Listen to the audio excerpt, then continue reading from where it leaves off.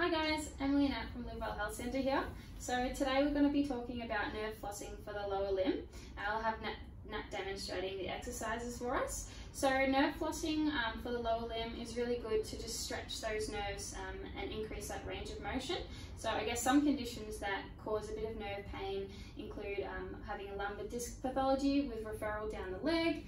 Um, otherwise you can get conditions like piriformis syndrome, um, even sciatica symptoms, um, or a femoral nerve entrapment, I guess more towards the front of the leg.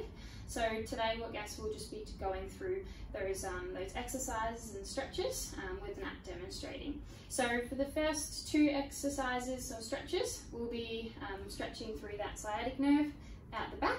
So for the first one, Nat, what we're going to do is we're going to lay down on, um, on the bed on our back with our knees flexed. Alright. So with the, um, with the affected leg, you're going to grasp down the back of the, the thigh there. So you can either have the unaffected leg bent or extended, whatever is your preference.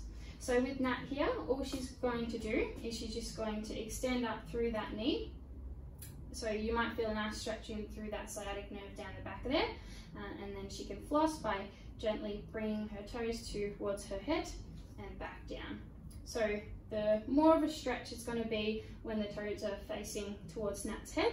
Um, and then I guess the stretch is a bit off when she's pointing her toes. So you can do this about um, five to 10 times, um, having a break and then doing it again. Just working within your, your limits of that stretch because we don't want to be, we don't want it to be too painful, okay?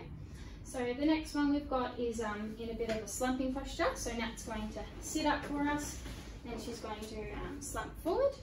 So the first thing that's going to do is just extend through her knee. She's going to point her toes up towards her head and then she's going to look up at the ceiling. So from here, the next position is Nat's going to point her toes down, flex her knee, and then flex her, her neck. So the next time she's going to do all this motion at one time. So looking up and bringing the foot up, and then looking down and bringing the foot down. So that's a nice nerve um, floss for that sciatic nerve at the back of the leg as well. So you can do this five to 10 times as well, having a bit of a break and then doing that one again. How do you feel there now? Feel that. Good. Beautiful. All right. So the last one is for that femoral nerve, so at the front of that thigh there. So we're going to have that on laying on the stomach for this one. So she's going to uh, bend her knee, so I guess getting her heel to her bum. Um, and then to, I guess, increase that nerve stretch, she's going to point her toes up to the ceiling.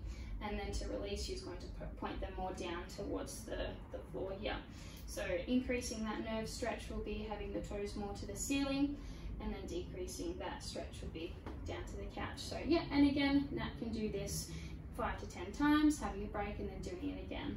I guess what we're really looking for with the nerve flossing, we don't want it to be too painful, so working more of a stretch rather than pain. If it is getting too painful, we don't want you to keep continuing it.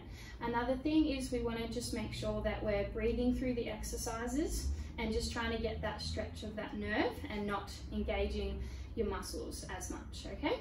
If you are um, experiencing too much pain, do stop. Um, let us know if you have any questions at all with any of the movements here at Livewell Health Centre. We're more than happy to help answer any of your questions. All right, thanks guys. See you. Bye.